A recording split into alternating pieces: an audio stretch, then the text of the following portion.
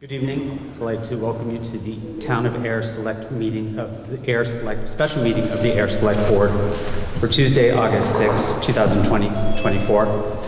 This meeting hearing of the Ayer Select Board will be held in person at the location provided on this notice. Members of the public are welcome to attend this in-person meeting.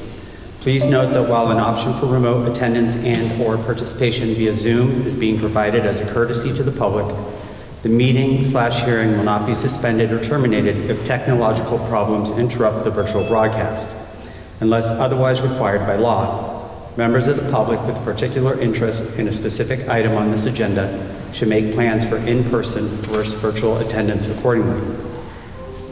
This meeting will be live on Zoom. The public may access the proceedings by joining Zoom meeting ID number 897-9080-0793 or by calling 929-205-6099.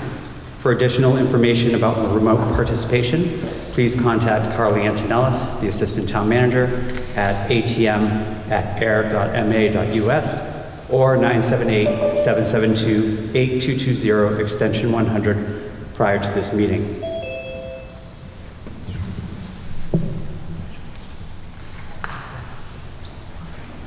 We can all stand for a pledge of allegiance.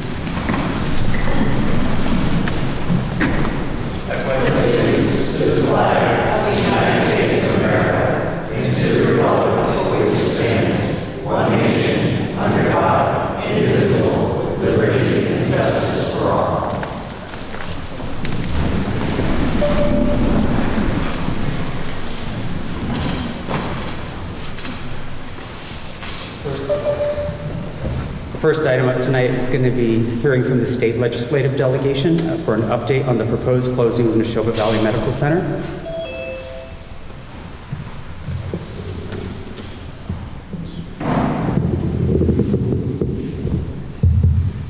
Thank you, Mr. Chairman. Uh, I want to thank the Ayer Select Board and Town Manager Robert Pontbriand and Assistant Town Manager Carly Antonellis uh, for allowing us to say a few words uh, with this emergency meeting by the Ayer Select Board uh, to address the, the crisis of the potential closure of the Nashoba Valley Medical Center. Uh, State Senator Jamie Eldridge, uh, very proud to represent Ayer for 16 years in the Nashoba Valley area for 22 years.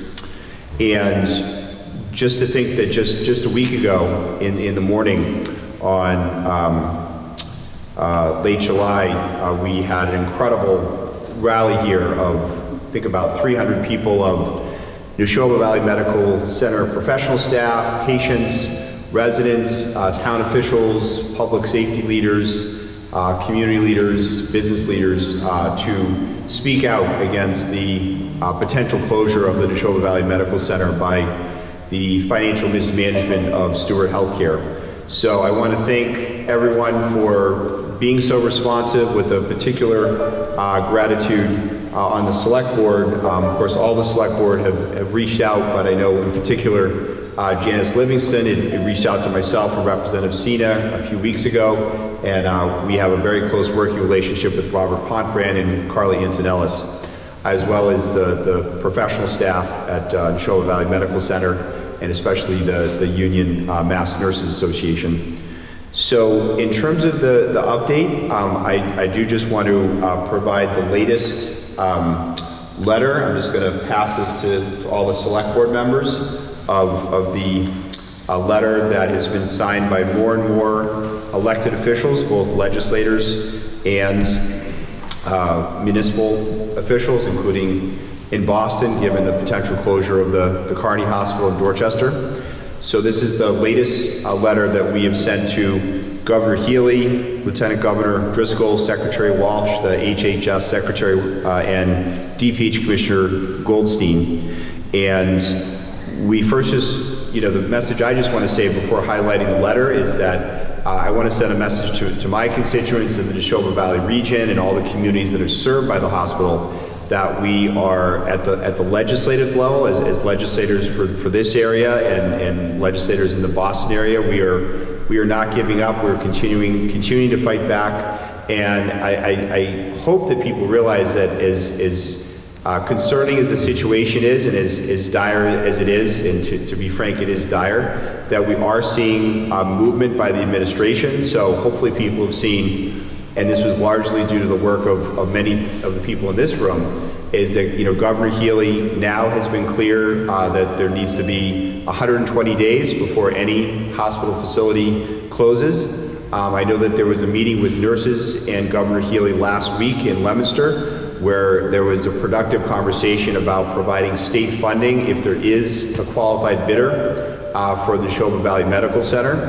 And while I don't have all the details about potential bidders, there certainly have been more and more stories about potential bidders uh, for the for the hospital. So we're continuing to advocate for that, and, and clearly it's critical to have you know state funding uh, to make that possible, whether it's bridge funding or whether it's uh, support uh, for for the hospitals um, and the potential new owners.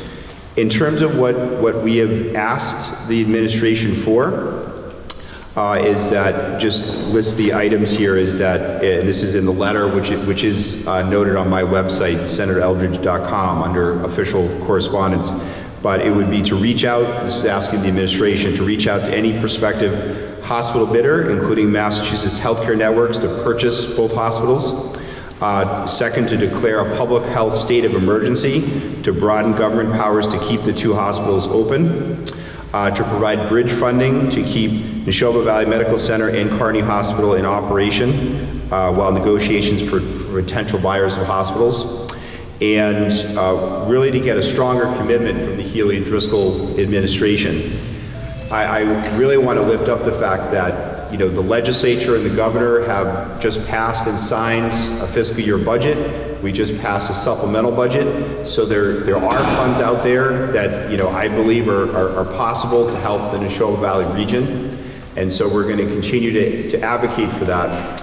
And uh, someone who has also uh, really just been an incredible leader for this area is uh, our colleague, uh, Representative Margaret Scarsdale uh, from, from Pepperell, uh, but represents many of the communities, including uh, Groton and Pepperell, is that uh, she has reached out. I know Representative Sena and I have begun to do it as well, is reach out to all of our public uh, safety leaders, so, you know, for the most part, our fire chiefs, um, to make sure it's very clear to DPH Commissioner Dr. Robert Goldstein that um, it would be an absolutely devastating impact for uh, EMS and, and fire departments, uh, for the safety of, of tens of thousands of residents in the Nashoba Valley region if the Nashoba Valley Medical Center were, were to close. Talking about obviously the, the extra time it would take for, to, for, to bring a, an, an ambulance or other emergency vehicle to another hospital that could be 20, 25 or 30 minutes away. Um, that the very close partnership the Nashoba Valley Medical Center has with the with the fire service and EMS in these communities uh, would would obviously would obviously be gone. And communicating to Public Health Commissioner Goldstein that you know his mission obviously is to ensure proper health care access for every region of Massachusetts, and that would have an extremely detrimental effect if, if the hospital would, would close.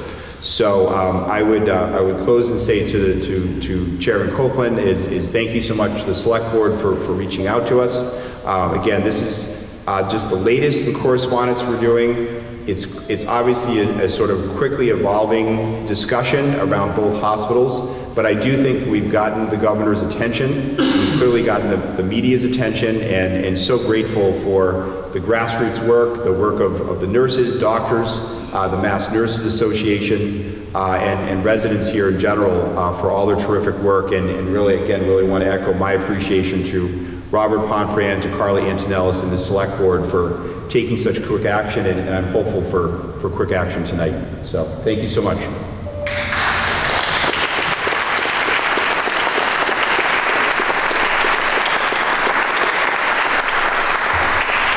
Um, Well, good evening, everyone. Thank you um, for, to allowing us to say a few words here tonight. I, I echo what Senator Eldridge has said. I mean, we, we have worked with, uh, uh, together to send a letter to the governor's office, to the Department of Human Services, and, and also I- we, uh, my office sent a letter to the Attorney General um, requesting to use every tools that you can to delay this closure. Now, certainly, I've heard from many, many constituents and many residents that they lived in, in Ayer or they want to live around this area because of the hospital, because of the quality of life um, they're giving to the residents. And, and certainly, I have relied on the Nashoba myself for health care.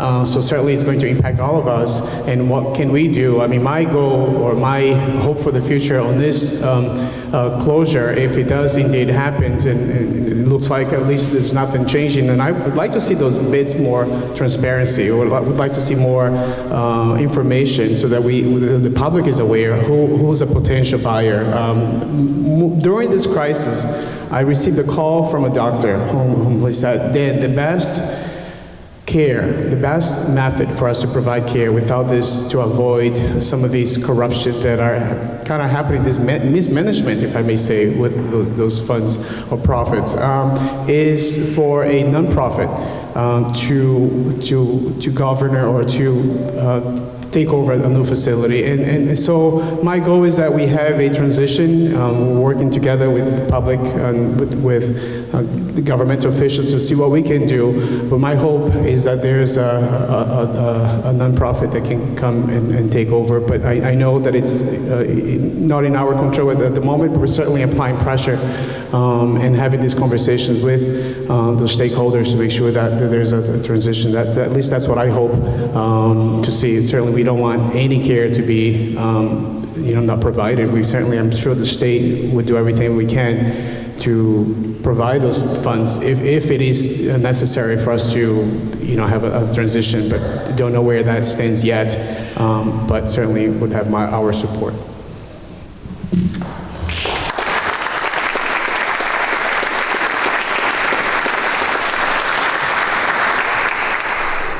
Thank you, uh, Senator Eldridge and State Rep. uh, Sena.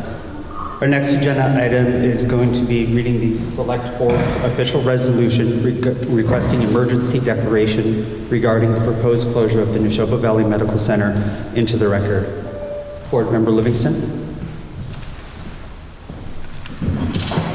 Official resolution requesting emergency declaration regarding the proposed closure of the Nashoba Valley Medical Center, August 6, 2024. We, the duly elected Ayer Select Board, given the impending proposed closure of the Nashoba Valley Medical Center, NVMC, scheduled for August 31st, 2024, officially implore that Governor Maura Healey of the Commonwealth of Massachusetts exert her leadership and official powers to prevent the closure of the NVMC,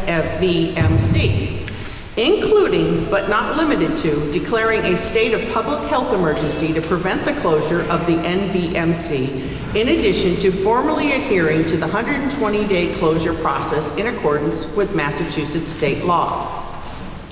Whereas the NVMC in Ayer, Massachusetts is a 46-bed community hospital opened in 1964, which has continuously provided primary critical health care, including emergency health services to the 15 towns of the Nashoba Valley region of Ayer, Ashby, Bolton, Boxborough, Devens, Dunstable, Groton, Harvard, Lancaster, Littleton, Pepperell, Shirley, Stow, Townsend, and Westford, with a combined population of approximately 114,391. Additionally, the Nashoba Valley Medical Center provides critical secondary emergency care to the other communities of north central Massachusetts and southern New Hampshire and Whereas the NVMC receives approximately 16,000 emergency room visits annually and receives approximately 91,000 outpatient visits annually, and whereas the NVMC is geographically positioned in a key location to provide central, direct health care and emergency services to rural communities which do not have access to public mass transportation for patients to travel beyond the region for health care and emergency health services, including our most vulnerable populations of the elderly, disability, community, and children, and Whereas currently the town of Ayer's emergency response, advanced life support, averages a 15 to 20 minute return to service when transporting to the NVMC, which is only 2.4 miles from the Ayer Fire Station. The closest alternative hospitals to the town of Ayer are as follows. Leominster Hospital, 11.5 miles. Emerson Hospital, 16.8 miles. Lowell General, 19.7 miles. And Southern New Hampshire, Nashua, 18.6 miles. If NVMC closes Ayer emergency response is estimated to take critical services out of the response areas for up to an additional of one to one and a half hours, assuming no traffic and ideal weather conditions.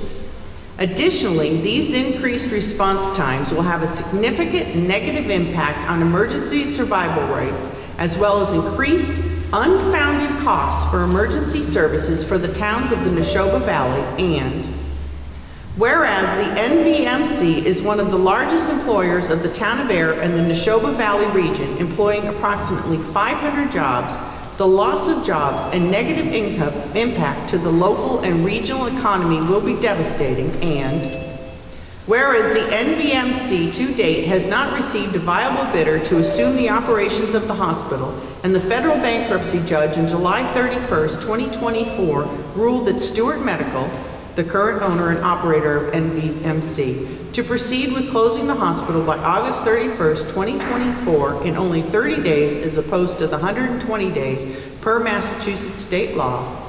And whereas the impending closure of the NVMC by August 31st, 2024 will create a healthcare desert, desert in the Nashoba Valley region, impacting over 100,000 residents of the Commonwealth increased emergency response times to over an hour, cut off direct local access to the public health care to the region's most vulnerable populations, create the loss of over 500 jobs, and shutter the entire emergency response service for the 15 towns of the Nashoba Valley Medical Center, a man-made public health emergency currently exists. And Whereas Governor Maura Healey has the power set forth in Massachusetts General Law, Chapter 17, Section 2A as follows. Upon de- delegate- declaration by the governor that an emergency exists which is detrimental to the public health, the commissioner may, with the approval of the governor and the Public Health Council, during such period of emergency, take such action and incur such liabilities as he may deem necessary to assure the maintenance of public health and the prevention of disease. The Commissioner, with the approval of the Public Health Council, may establish procedures to be followed during such emergency to ensure the continuation of essential public health services and the enforcement of the same. Now, therefore, the Ayer Select Board respectfully requests that Governor Maura Healey take the following immediate actions within her powers as Governor of the Commonwealth of Massachusetts as follows. One, per Mass General Law, Chapter 17, Section 2A, declare that a public health emergency exists with the impending closure of the NVMC and further instruct Dr. Robert Goldstein, Commissioner of the Department of Public Health, to take such action to assure the maintenance of public health by keeping the NVMC open and operational. Two, that the governor, per her public statements on August 1st, 2024, that Steward should adhere to the 120-day closure per Massachusetts state law, do everything in her power as governor to ensure the 120-day closure period.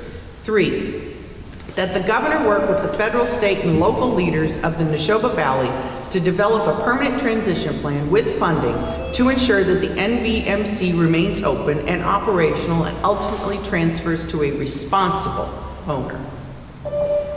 We, the Ayer Select Board, hereby issue this official resolution on August 6, 2024, from the Ayer Town Hall, Ayer, Massachusetts, and officially transmit, transmit this official resolution to Governor Maura Healey, Governor of the Commonwealth of Massachusetts, and Dr. Robert Goldstein, Commissioner of the Department of Public Health of the Commonwealth of Massachusetts, with official copies transmitted to Congresswoman Lori Trahan, State Senator Jamie Eldridge, State Senator John Cronin, State Senator Edward Kennedy, State Representative Danillo Sena, State Representative Margaret Scarsdale, State Representative James Arciero, State Representative Michael Kushmerek, State Representative Natalie Higgins, and official copies to the select boards of the 15 affirmation towns of the Nashoba Valley region. Signed this sixth day of August 24, by Sean C. Copeland, Chair, Christopher E. Tavares, Vice Chair, Janice L. Livingston, Clerk, the Ayer Select Board.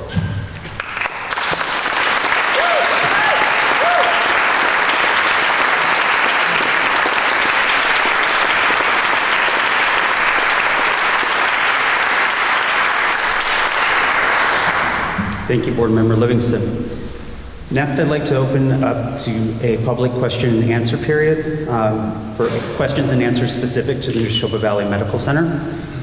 And if we could please only use up to two minutes since there's a large crowd here. I'd like to welcome you up to the microphone. If you would give your name and your address. And then Carly, if you could tell me when people want to share from Zoom. Mr. Chair, can I? Oh, absolutely.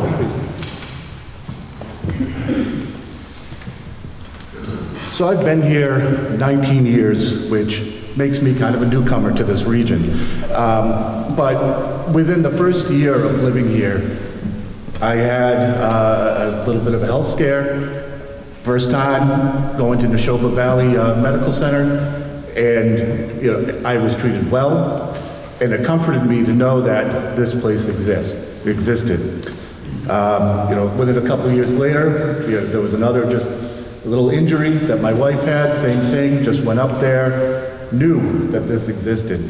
And um, when my daughter was about three years old, she was dancing in our living room. She, she fell, landed awkwardly on her arm, and it was a Sunday night, 9 p.m., and we knew we could go right up to Nashoba Medical, get her checked out, and she was back home with her cast within a couple hours.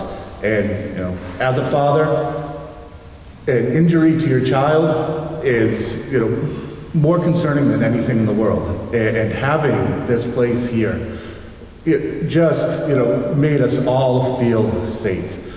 Going into this uncharted area of, you know, if this does close, you know, I'm scared. A- And I, I think we all are scared too, right? That's why we're here. And I look out now and I see all the support.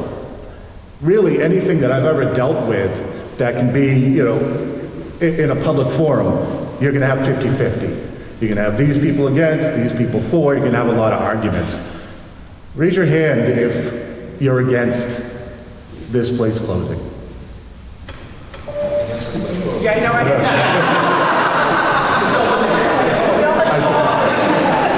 I worded that very poorly. Okay. So, how about a show of hands? Who wants this place closed? Hey, look at that. Hundred percent. When have you ever seen that in the town hall? Everyone here, straightforward, wanting the same thing. So I know Governor Healey is a basketball person. This one's a layup. This one is very easy.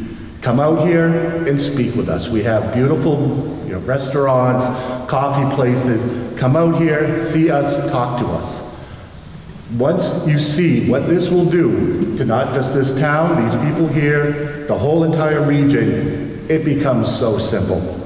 So please, Governor Healey, come out here, talk to us, break the silence, and keep NVMC open.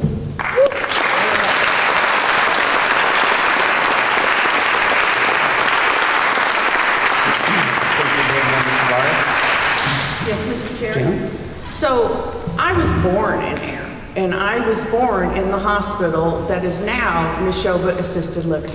There has been a hospital in this town, I, I believe since like 1929. 24? Okay. Uh, I, I- yeah, I could have, might, I might have forgotten that right. But my point is, is that there's always been a hospital, and the idea that this is gonna be taken away. But what's really, really bothersome to me at this particular moment, because we know we have the support, is that the idea that Governor Healey, you have come across as like you're not paying attention to us. And it, between this hospital and Carney, you're talking of approximately 300,000 people being negatively affected. There is no winning on this deal. And yet, I have seen more conversations about you and your ice cream trip than I have about you and this scenario. And it's great that you had a conversation with people last week, and it's great that they gave, you gave them 10 minutes instead of the one minute, which who has any time to say anything in a one minute? Is, is, you know, that's great, you, you finally heard, okay? But here's the thing, Governor Healey, you, when you ran, you promised to be a leader. And yet, you are not. Because a leader will look around to see what their people need and make sure that they've done everything in their power to make sure that their people have all the supplies, resources, support, whatever's needed. So Governor Healey, be a leader and support this hospital and Carney staying open. Because 300,000 lives, that's just the people that live here. Now, some of you are going to have company, okay? And God forbid, they need assistance, okay? The, so, and now, let's do the ripple effect. Okay, some summer people are going to go to Leominster Hospital. They can't handle it. They can't handle what they have already. They're not going to be able to handle all. So now, what could have been done in one, two hours, four, six. Oh my God, we forgot you were still in that bed over there. That is a scenario that's going to happen. And it's not because they didn't care, it's because they're overwhelmed. And there is no reason for this situation. So, Governor Healey, be a leader and let the people here know that you're paying attention and that you care.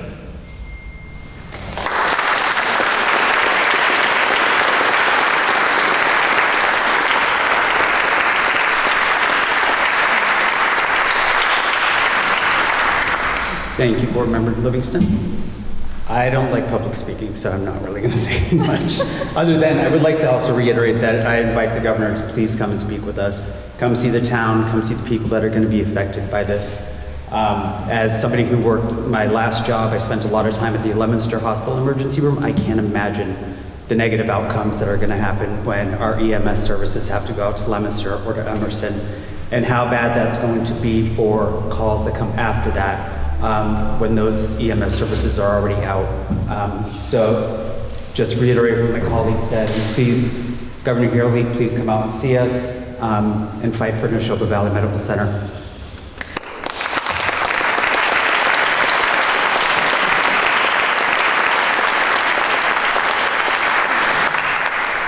Now, if there's anybody who would like to come up to the microphone.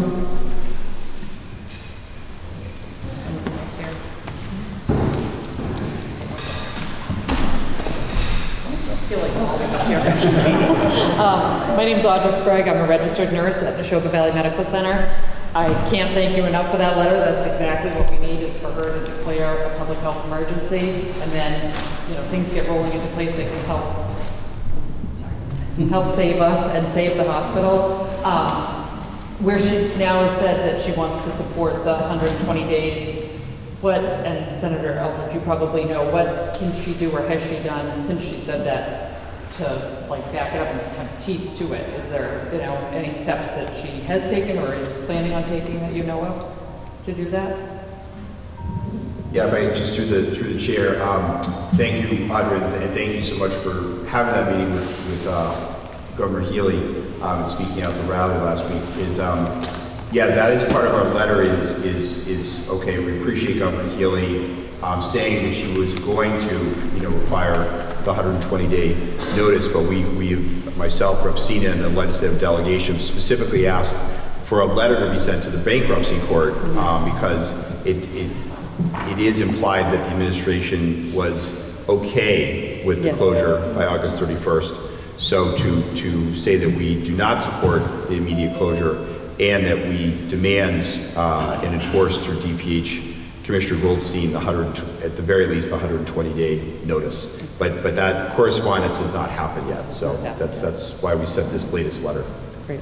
And also just for an update, um, on Sunday night, just for time thing that we talked about with EMS, Pepperell, which is one of the towns that Nashoba gets quite a few patients from, had to go to Emerson at 10 o'clock at night and their turnaround time with no traffic, and they got off pretty quick. They said they got the patient off the stretcher onto a bed. Their full turnaround time was two hours and 15 minutes for one call.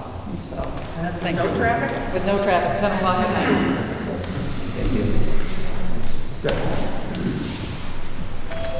Hi, my name is Ed Garside, I 109 Townsend Street, Pepperell, Mass. And uh, oh, 28 years ago, I uh, was having a heart attack. I was taken to uh, Nashoba, and uh, They got me out of there in a matter of minutes, air flight down Boston. So, hate hate to see it go, you know? Very important to me. And the other thing that really bothers me every time I read it in the newspaper is this guy who owns it demands that his debts are taken over by the fire. I've never heard of such a thing. These bankruptcy laws are absurd. I mean, could you file bankruptcy and say, hey, my neighbor's gonna take my debts if he wants to buy my house? I mean, it's, it's just absolutely crazy. Okay? He's saying that from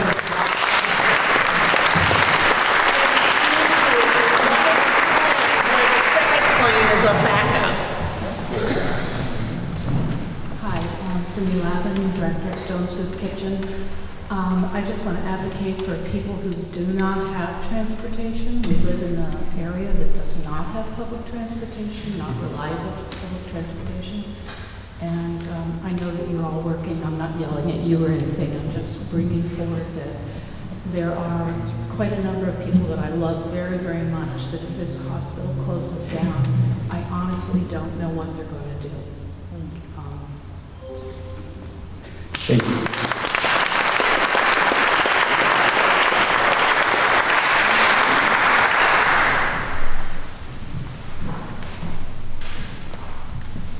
Thank you. My name is Peter Cunningham. I'm a select board member of the town and appreciate uh, the action that you've taken on this, this letter. I want to bring this back to my board and uh, work with them on crafting some, something similar to send to the, uh, to the administration of Governor Healey. I've also been disappointed with Governor Healey's uh, uh, reaction on this. It seems like Carney and Nashoba Valley Medical Center have sort of been collateral damage in this whole process going forward between the bankruptcy court. And I understood that the Commonwealth had an attorney that was a a party to that proceeding down there. I don't know if there was a, a motion to appear or not, but it was a proceeding. But I don't, I don't think the urgency, what I've seen reported, of the situation here is getting communicated down there. And the bankruptcy judge is making the decisions on those proceedings based on sort of a narrow vision of who the debtors are and, and we have to make whole again, but not what the impacts are. Uh, and bankruptcy law, I guess, is a little convoluted. I don't understand it all, but it's, to, for, for a, process like this to go forward and, uh, and, and impact this region in the way it is is just unacceptable. Uh, so I appreciate all the advocacy of our legislative delegation. Senator Eldridge certainly been taking the lead on this, and, and Rep. Senator Rep. Scarsdale. Um, but, but we certainly need to communicate that this is not acceptable, and Governor Healey needs to be more aggressive uh, in making sure this doesn't happen. So thank you very much for.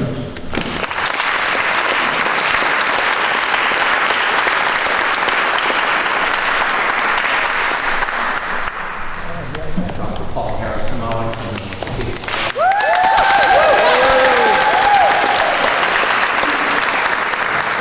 Seventeen year old farmer, but my office address is at the medical office building here and there. I'm an uh, board certified orthopedic surgeon, been practicing here 33 years as of yesterday. Okay. Happy anniversary.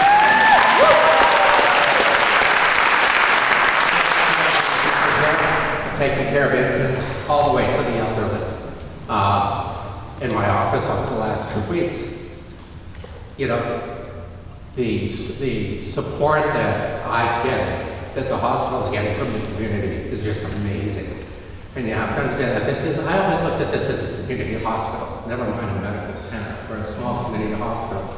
Uh, we, we're family, and I mean the nursing staff, the doctors, the people who work at the hospital, uh, we're family.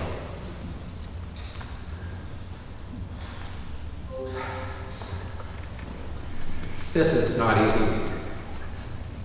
But for me, I, I feel, I don't feel, bad for the doctors. I really don't. I think we could find our place to work, but the people who are going to lose their jobs, nursing staff. More importantly, for our, our patients, our family, we take care of them. We see them in the grocery store, we see them on the playground, we take care of them. The secret of patient care is caring, caring, caring for the patient. And we care for people day in, day out, as if they're our family, and we take, that's how we take care of them. So I can understand quite honestly why the, uh, the- the Massachusetts and Governor Healey is upset with Steward. I'm upset with Steward, we're all upset with Steward. I can't believe what co- corporate greed and corruption institute that they have. But to think that we're gonna let Steward continue to victimize the patient, our, our, our population and our, the people who live in this area, I just don't want our patients to continue to be collateral damage. And to, and to know that we have perhaps the means, the Governor Healey has the means in which to right this wrong and not do so, to me is morally unconscionable. So, you can see I'm pretty worked up about this. But this has been my life, caring for this community and the many, the many communities that this hospital serves. It's a lifelong work. It's a lifelong work for people who work at the hospital, from house cleaning to maintenance to the nursing staff to everyone. So to close this hospital is a gem. It, it can never be, it can never be replaced. And it would be just an absolute tragedy to see this place close when there's really no need for it to be.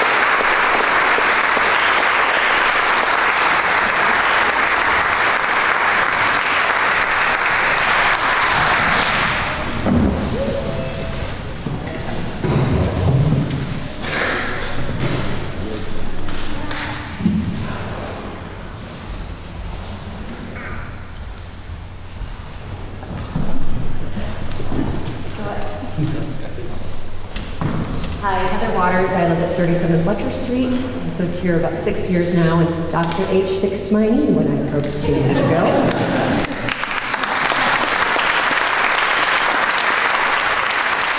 I'd like to understand what a qualified bid is. It seems like there have been a lot of facilities who've made offers, and if it's just up to Steward, how is an organization that failed at keeping this hospital going able to be responsible for determining who's qualified to run it now? To be honest?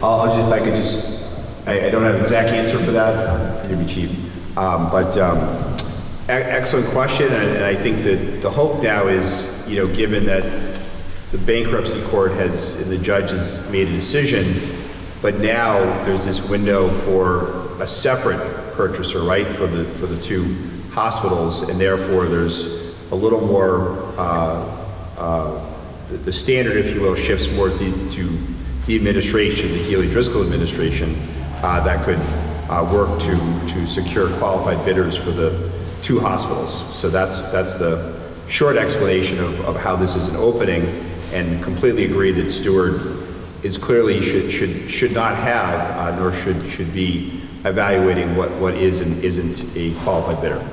So, thank you.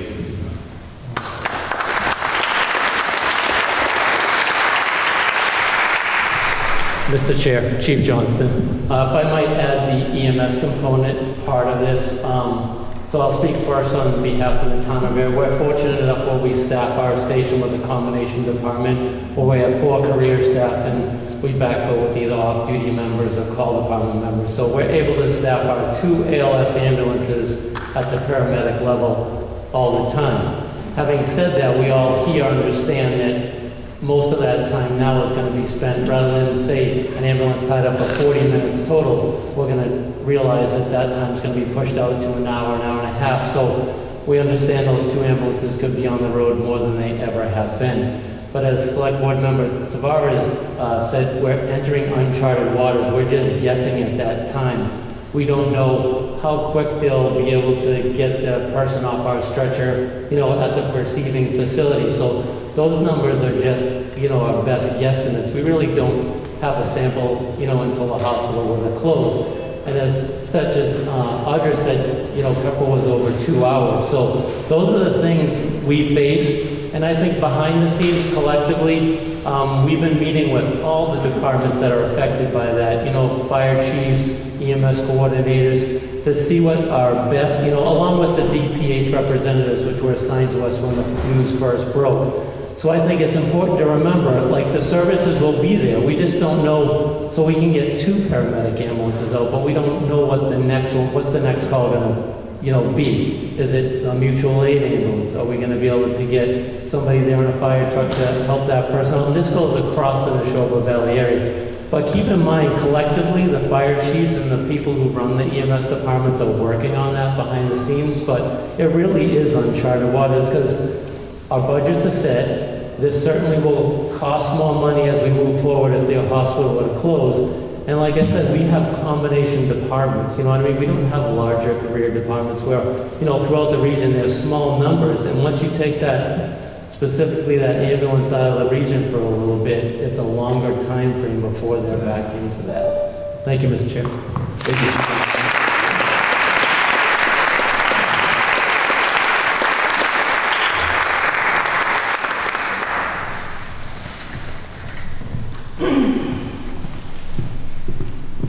from Ayer, I'm from Sh- Shirley. My name is Tenny Comar, and I'm going to ask the attorney here, uh, Senator El- um, Eldridge, a legal question, okay? Being as that's been my emergency room for some other medical doctors, and I've been taken there at 2 o'clock in the morning by ambulance. And uh, I have a question. Uh, Why not deal with this private equity mess that we have, which I hope uh, brings about a national law of change. Why can't we just eminent domain the buildings? Amen.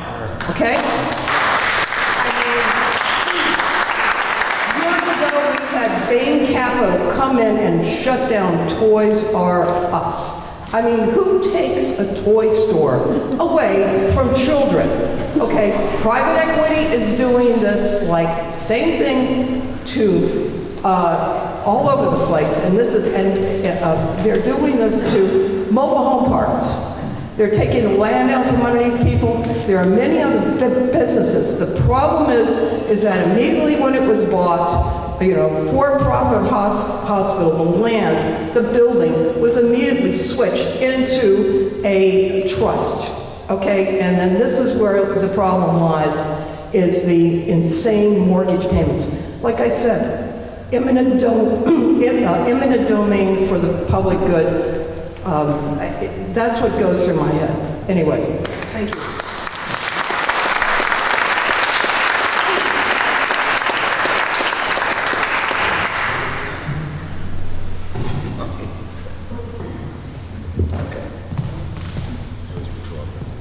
Hi, my name is Spencer Lane, 31 Coolidge Road. Actually, I'm only lived here a few years, but uh, I guess I really just have a question. about- Because I've lived in a few places before. I'm I'm almost uh, 68 years old. I've never seen a hospital have to shut down just because of financial issues. I, I mean, I, I know some get outdated and they, they can't be restored, but just strictly for financial issues because of mismanagement. So I guess my, one of my questions, or my main question is, who was representing the hospital and the community at the, uh, at the hearings in Texas?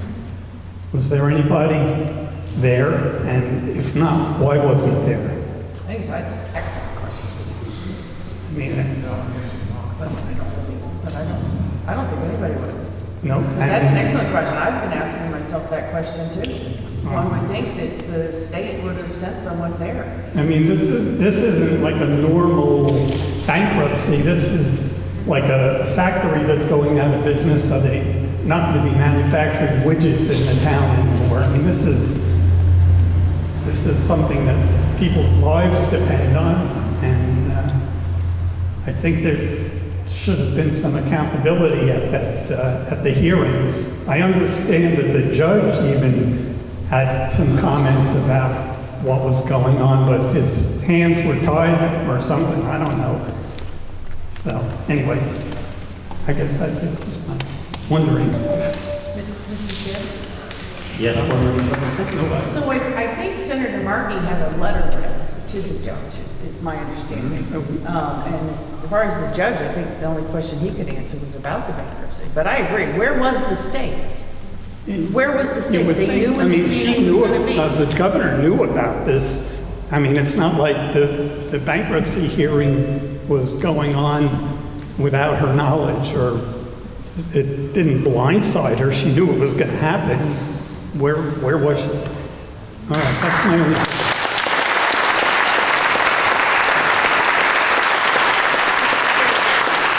Another question perhaps we can ask Maura Healey if she comes to see us. What? I'm sorry. Another question we can ask Governor Healey if she comes to see us. Well, I think that part of the problem, Mr. Chair, is that, you know, right away upon the announcement of the hospital being foreclosed, well, first there was the confusion of everything got a bid, and then the next day it was like, oh no, two did, or qualifying bid. But then the, uh, the uh, governor announced like, oh, we're gonna, don't worry, we, we knew this was coming, but we're gonna create a database, because those always work. And we're, so that you're gonna know where you can go.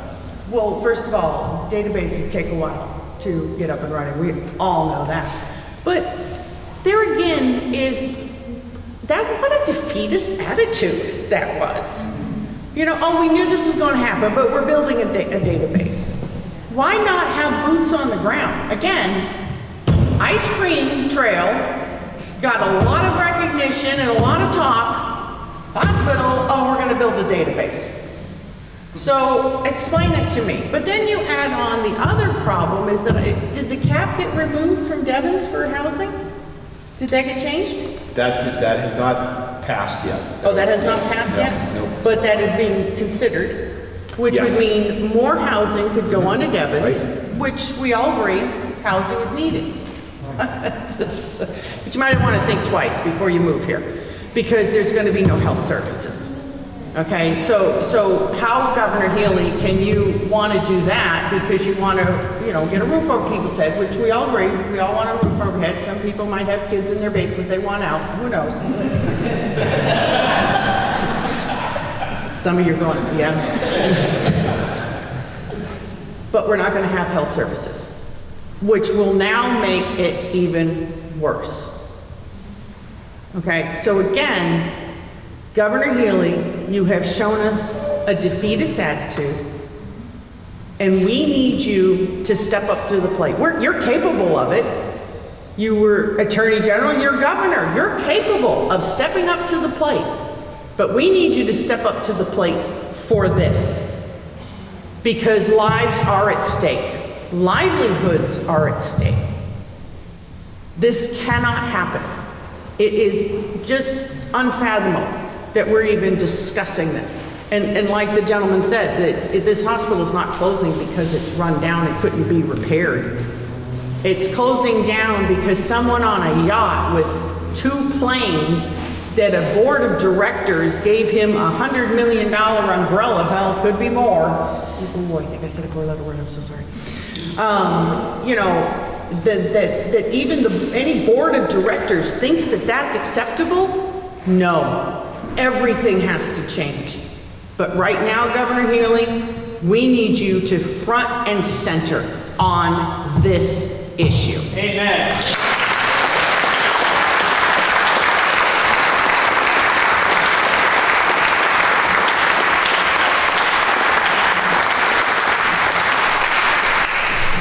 Excuse me, Mr. Chairman?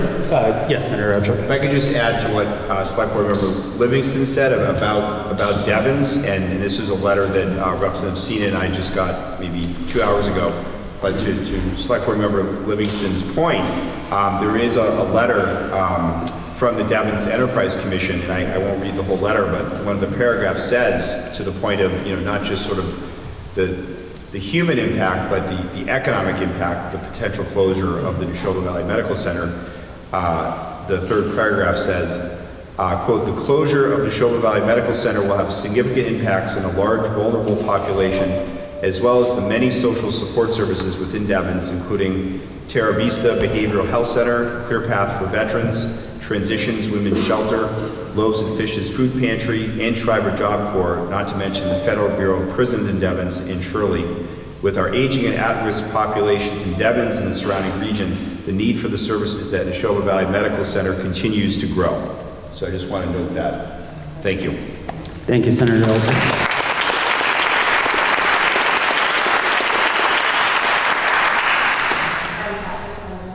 I'm sorry, the name? Okay. Ms. Peppin?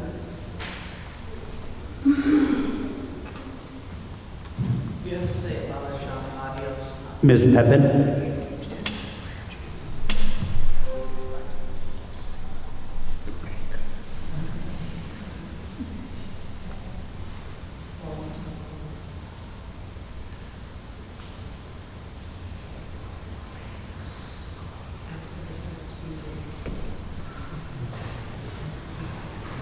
Melanie Peppin?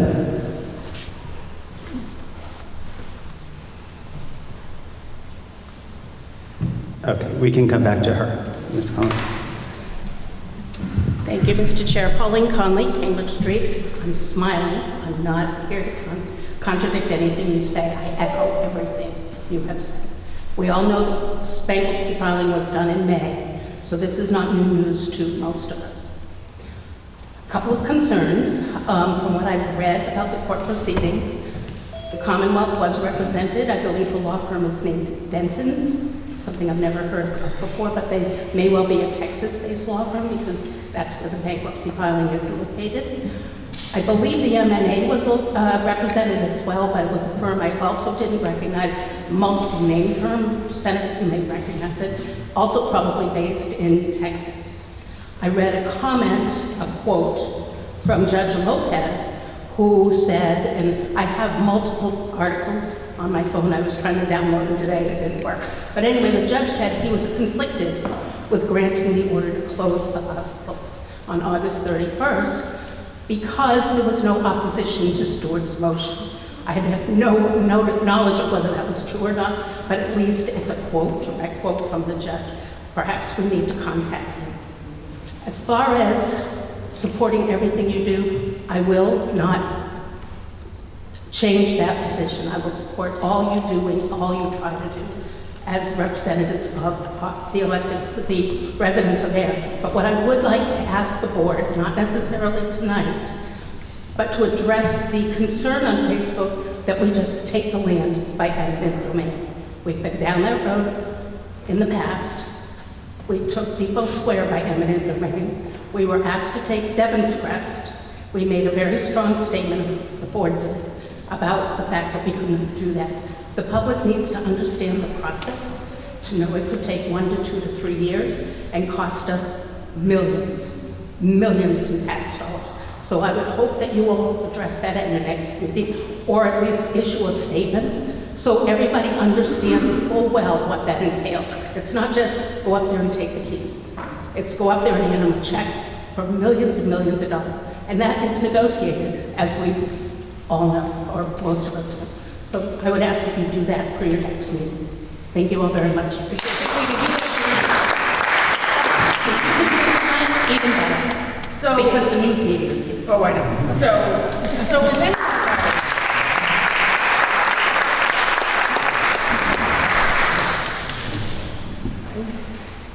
Oh, We're closer? Yeah. Oh, sorry. Oh, and usually have people telling me to back away from them.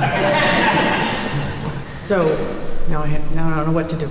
Um, So here's the thing, as, as we've all seen on numerous occasions in our lives, whether it be local or in the news for another state, Connecticut, uh, uh, you know, about a decade or so, um, eminent domain does not happen overnight.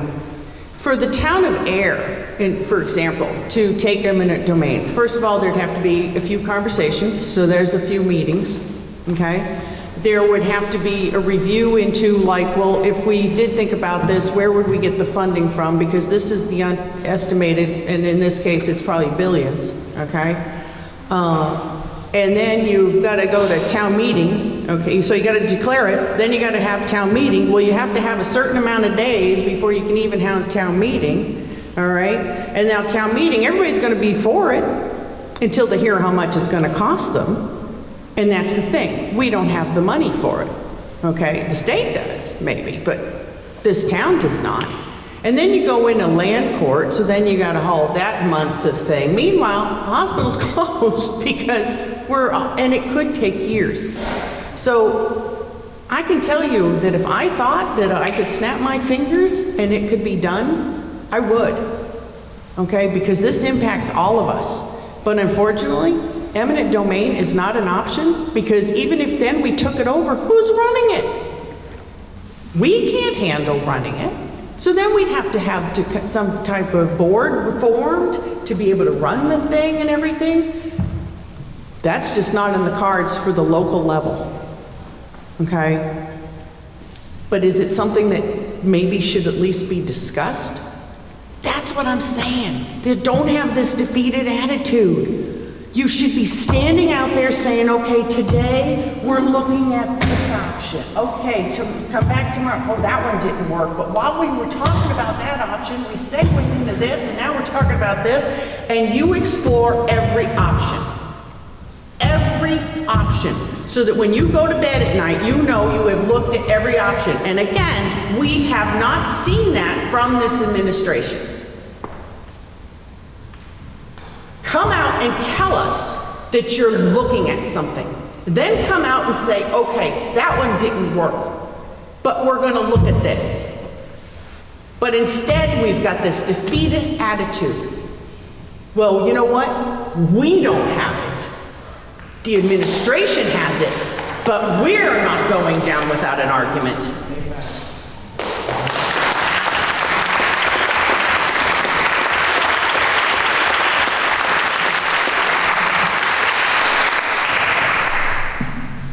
Hi, I'm uh, Zoe Harris. I'm from 50 Groton Harvard Road. Um, I just want to point out that I was born in Fitchburg Hospital, that doesn't exist anymore, which, so this is an alarming trend in the area over my lifetime. Um, I understand that the 30-day ruling was a federal ruling in Texas, which is kind of mind-boggling that this court in Texas can have such an impact on our lives here in Nashoba Valley. Um, and the 120-day notice is a state law, so is that part of the problem? Is that we're dealing with federal ruling versus a state law of the 120 days? Is, is, does the federal supersede that in that case? And if we declare the state of emergency that we're requesting, will that supersede everything? That's my question.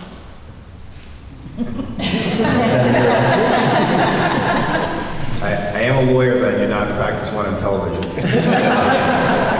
but um, that's a great question, and I think that's something that we've been analyzing is, is bankruptcy court obviously being federal, you know, how, how does that relate to, to state law? But we, we do believe it is possible for, for uh, you know, under the public health emergency, under the, the state DPH guidance of 120 day notice, for that to be invoked by the administration. And so Governor Healey has talked about that for the first time last week, thanks to a lot of the advocacy in this room.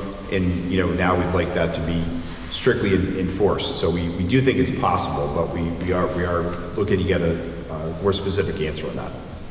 Thank you. Thank you. Thank you.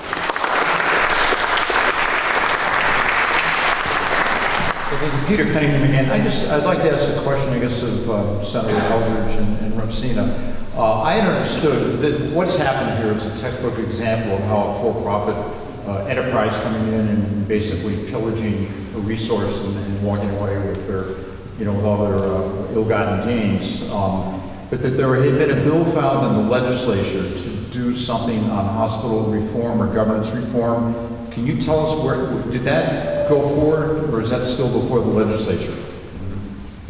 Yeah, so the, uh, so the, the, um, the Senate uh, did pass legislation just because uh, the, the House, to its credit, had passed a, a bill around community hospitals, but the Senate more recently, in the face of the Steward crisis included legislation that uh, would have provided closer reviews of, of any hospital that is owned by private equity, because because obviously that's the foundational problem.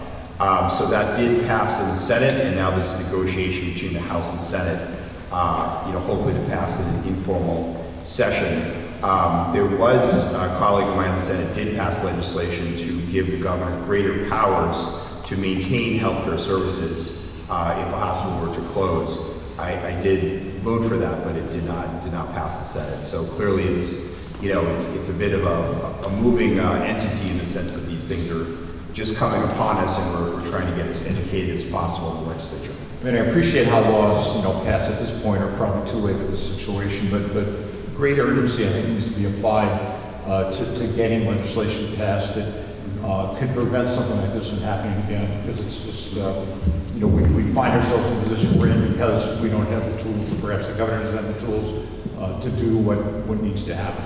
Right, if I may say, I mean, we, the fact that uh, the bill, there was a provision of the bill that talked about the land issue, what the steward did uh, to prevent that from happening in the future.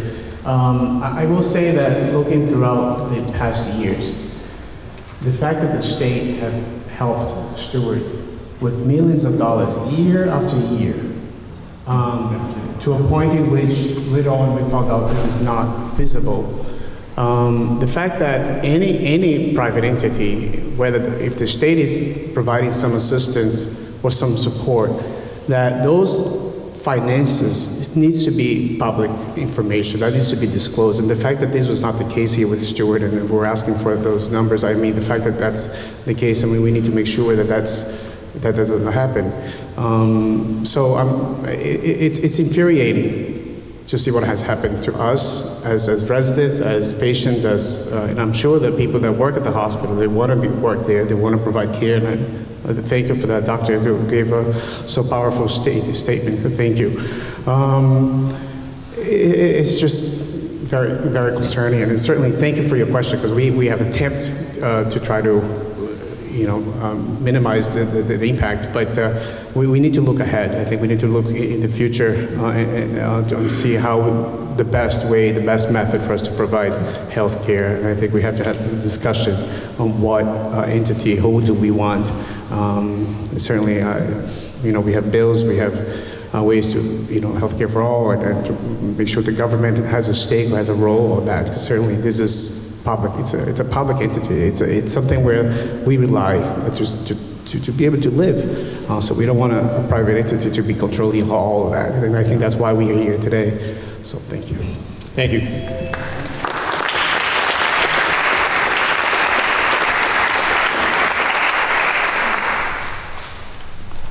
Hi, Matthew Murphy, I live at 95 Washington Street. So, kind of a statement and then a question. So, the first is when they declared bankruptcy back in I think it was March or May, my suggestion going forward for the administration or any future administrations, let's take them at the word that they're bankrupt and start planning for a closure then.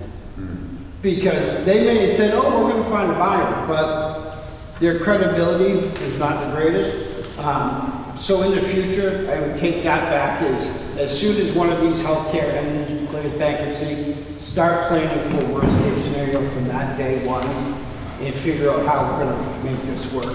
Um, the second is, the statement's great, what you guys put out is great. How do we move the ball on this as citizens and get this done? Because we're now, the, the clock is ticking. We're now in a two-minute drill.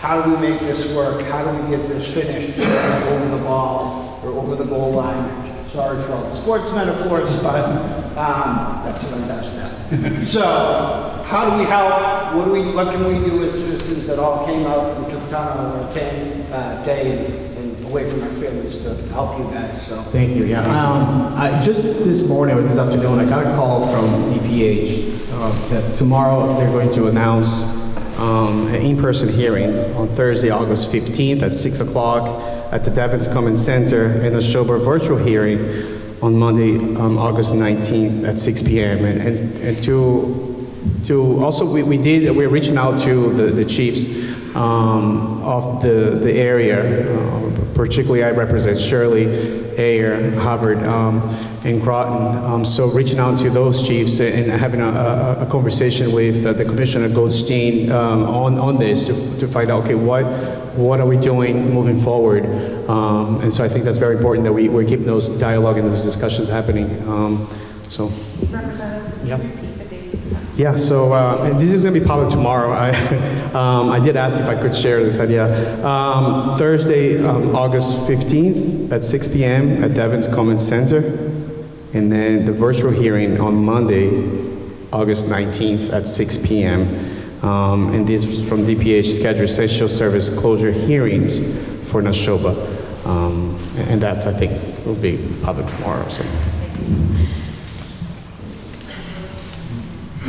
Carly, is there anybody on Zoom? Yeah? I just look like 90 down my house. Don't say that. Were there any witnesses? By now I should be the media. My apologies. Okay, so I'm Melanie Harkin. Let me catch my breath. Senator Eldridge.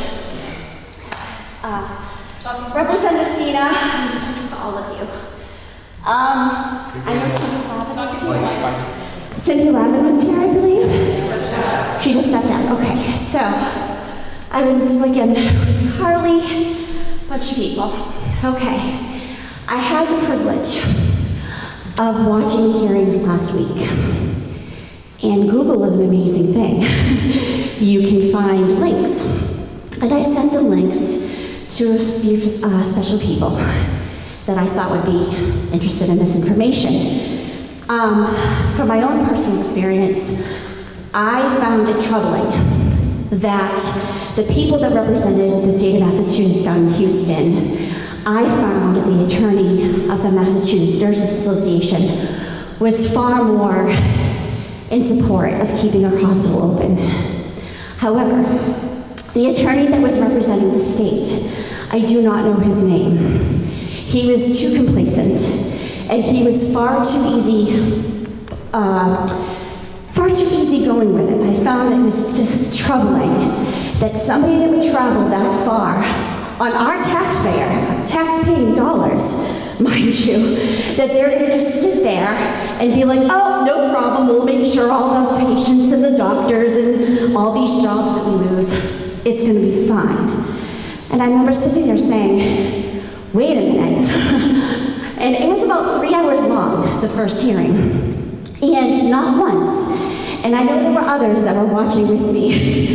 However, not once did I hear anybody from Massachusetts state the fact that Dr. De La Torre is being subpoenaed on September 12th. And he is in constant litigations regarding international crimes that he's being investigated about.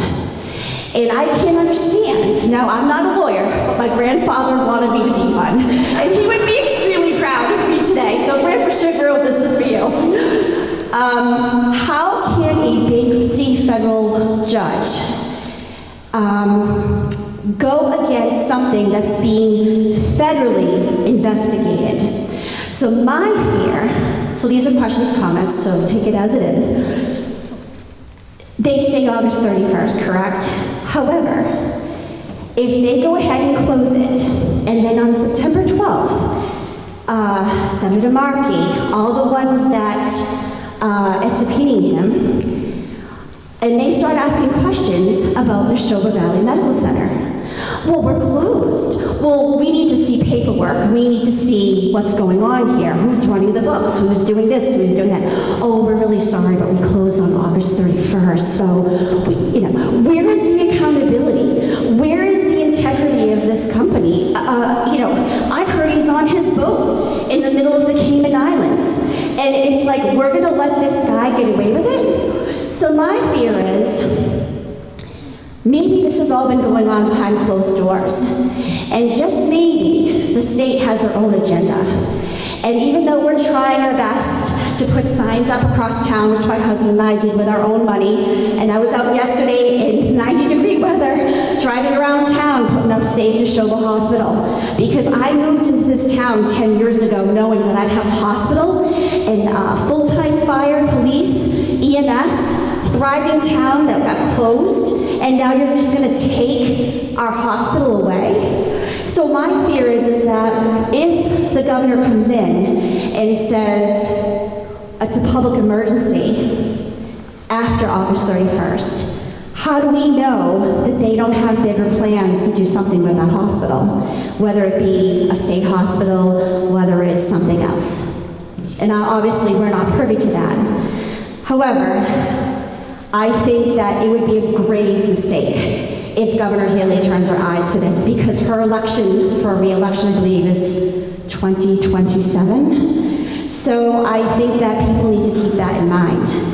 And if I can speak for uh, the families that maybe don't have good health care, that don't have the, ac- uh, the access like I do, where I've had to actually leave this area and go to Boston to find better care, I have the luxury. Healthcare is a necessity, but it's also a luxury. And we can't forget the people that don't have access. So I really hope Senator Eldridge and Representative Sena and all of you that you take your job very seriously because there's thousands of people waiting to see what we're going to do next. And I commend you for all of your hard work, but please don't forget about the town of Ayer.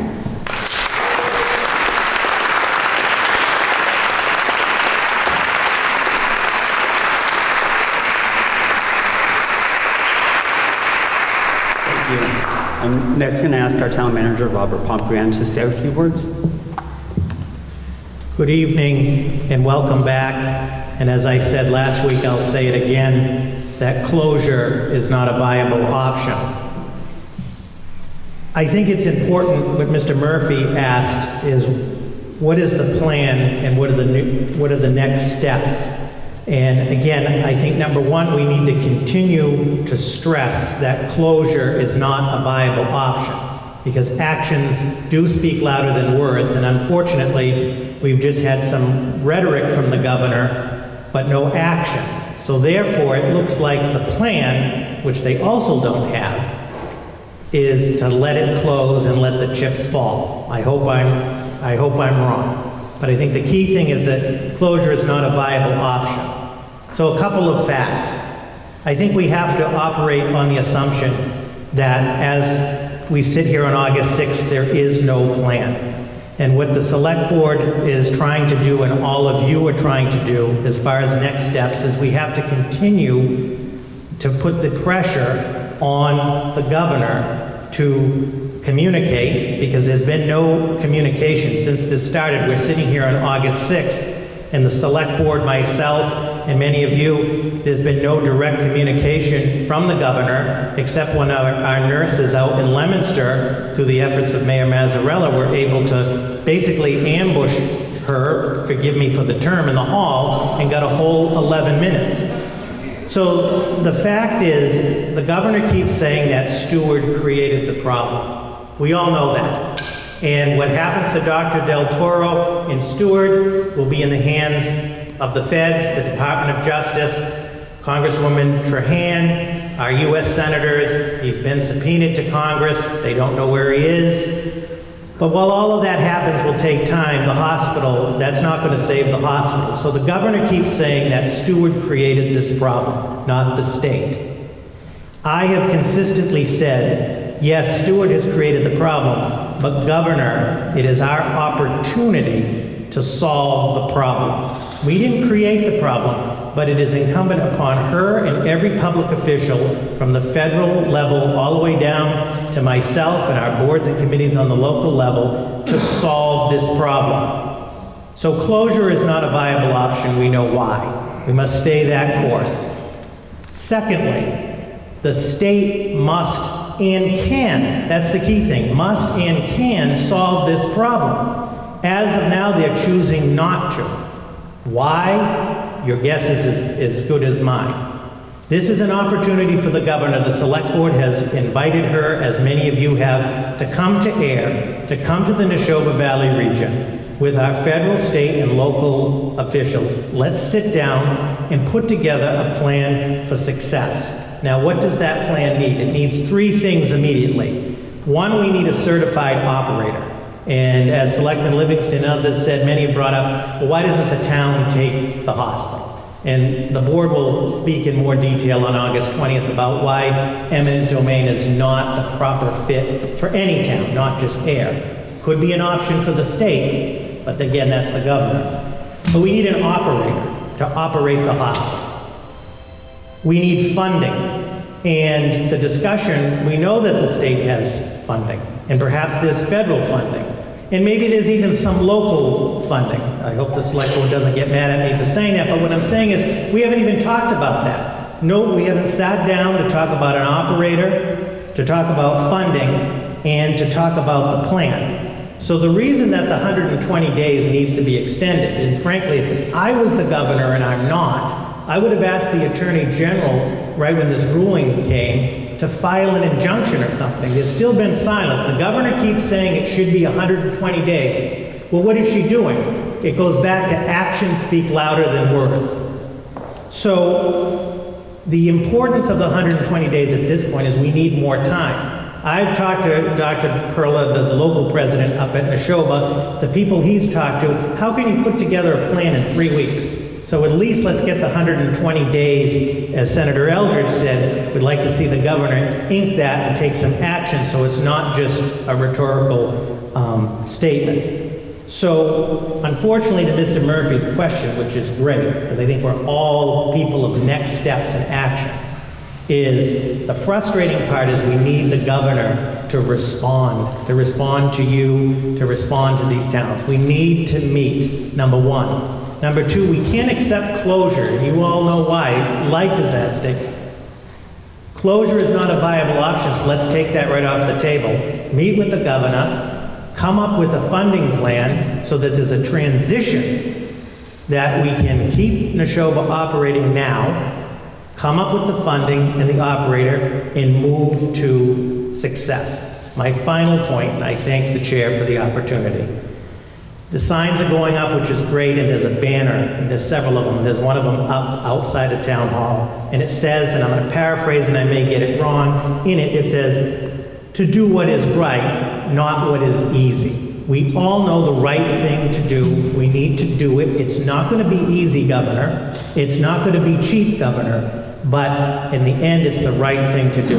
So please know that our next steps is to continue the, the, the pressure and the communication, and to get the governor out here is the first step, and to sit down and put together the plan moving forward. And so with that, I thank you all for all of the time and effort, and know that the town of Ayer is with you 100%, because the stakes are too high, and closure is not a viable option, must be our only position on this. Thank you.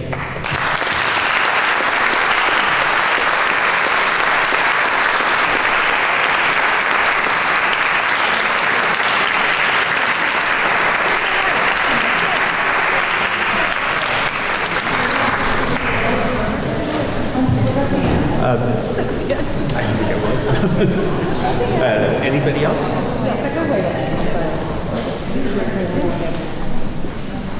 My name's Bert Gibson. I'm a retired staff sergeant. And in 1994, I closed Cutler Army Hospital because I worked in logistics.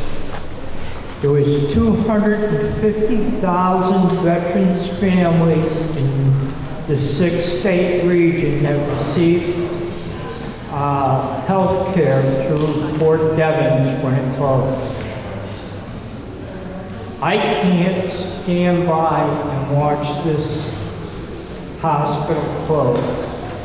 This hospital has saved my life twice. It's taken care of my kids and my wife, and my friends, and the kids that I've coached and that have gotten hurt on the field. This is a very important hospital. I also am the commander of Ayer American Legion, and I represent a lot of senior citizens. The senior citizens need a local hospital. because the next heart attack could be the last if there's no hospital here. I want to make sure that the governor knows that we're all important people. It doesn't make any difference what we look like, where we're from, or who we are. We are important. Save this hospital.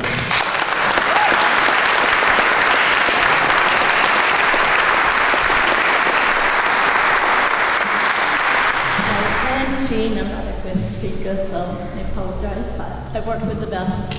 I gave half my life to the hospital, and like you said, we all are upset about losing our jobs, but we're more upset about the patients that are not gonna get the care. As a financial counselor there, the certified counselor, insurances are through the roof, and a lot of people are they're so now they're not gonna come, they're not gonna know where to go. They come into our hospital as a stranger, and then they leave as family because of the nurses. And as Dr. H showed, we care about our patients. And that's what the bottom line is. And what the gentleman said, it's all seniors, veterans, the ones that need the most respect. No, right now I'm looking at losing my job, but I'm caring about my, the patients that come. My husband actually has been a patient. He's looking at four major surgery. Dr. H is gonna, was gonna be doing one, but now his hands are tied. So now it's like we don't know what I'm gonna do. Now losing insurance, my husband's health is declining. So we just need Dr. Governor Healey to come out to the hospital and see what a great staff we have. As Audra is the best speaker who has spoken with us. Senator Eldridge, you've been by our side, we thank you all for coming. Uh, Thank you all.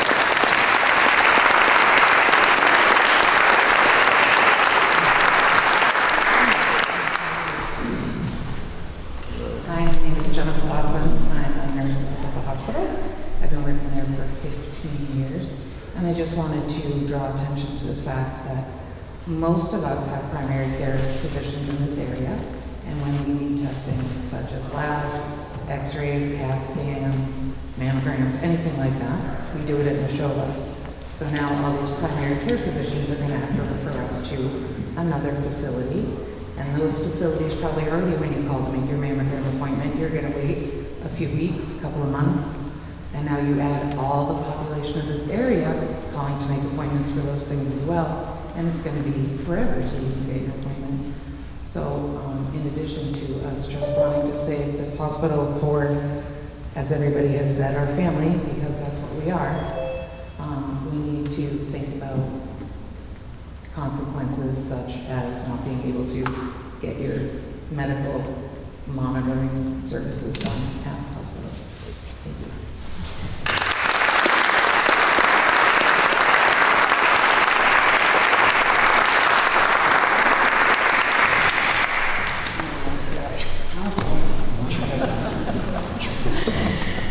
Dr. Hernan, Nashoba Valley Department, and I've got to use notes on this one or I'm gonna- not going to be on task.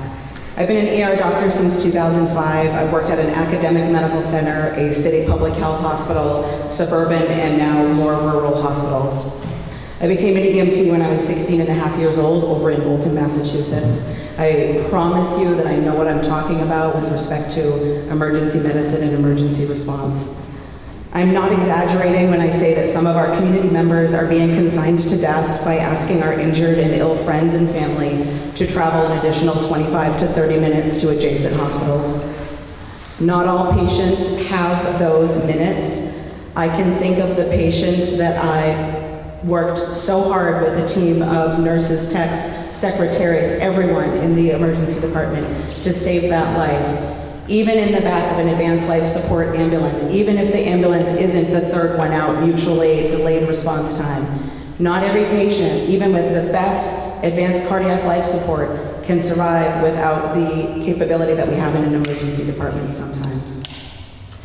This will certainly increase mortality and suffering, and there is research that can be findable to document some of these things. The more we learn, the more we understand how the bullies of Steward have masterminded our current abuse, And as these days go by, we are learning how expendable we are to Governor Healey and Public Health Commissioner Goldstein. These two agencies that have the power to protect this community are choosing to say their hands are tied in the case of Governor Healey, or to say nothing in the case of Dr. Goldstein. Their decision has already seemingly been made. We don't have a chance. And it feels like the state is watching the bullies bully us. And to that, that I can speak on personally. There is nothing worse than suffering, feeling bullied, feeling like you're being beat down, and people are actually standing around and watching. That feeling of they know what we're going to lose. They know that over 110,000 people are going to have compromised health care, creating a relative care desert in Massachusetts. They know that, and yet still the silence. And silence resonates. Across the state, people are thinking they must be okay with it. Locally, fire chiefs, EMS directors understand exactly what's going on here. But at the state level, I think they think, well, we'll work it out. You know, other hospitals have closed. We'll work it out. It'll be fine. Where is the feisty fight from them? Where's the outrage? How dare they do this to this community? How dare they inflict this upon my patients, Dr. Harris Simowitz's patients, all of the physicians' patients, the nurses, the, the attention, the texts, the amount of love that comes from a community hospital taking care of a patient is why I choose to work in a community hospital. I prefer to work in a community hospital. I have never been in a place that is more loving and caring and supportive for the patients that come through our doors. I'm hoping that we can start to hear a feisty fight from other communities, from boards of health, from other town managers, from, from Springfield, from Boston, from Worcester, from other hospital agencies that say, you know what, closing a community hospital is always a bad idea. And regardless of politics, regardless of money, we can stand up and say closing a community hospital is a bad idea. Everyone should be clamoring, absolutely not. Because if this can happen in our community, it can happen in any community. And thank you to everyone who is here, who showed up in this room, everyone behind me, who are the people clamoring and saying this is not okay. Because closure is definitely not a viable option.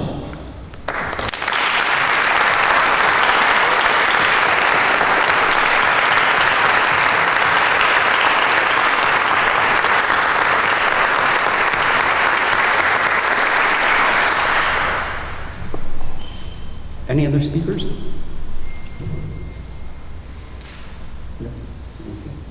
Um, Before we adjourn, I'd like to thank State Representative uh, Sena, State Senator Jamie Eldridge, Board Member Livingston, Board Member Tavares, and Town Manager Pontbriand's. There's nothing else? Yes.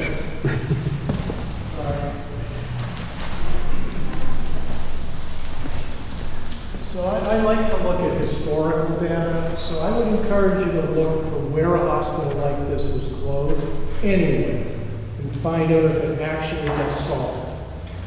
I, I just think if it's, it has to have happened somewhere. So I would just encourage you to look. Thank you.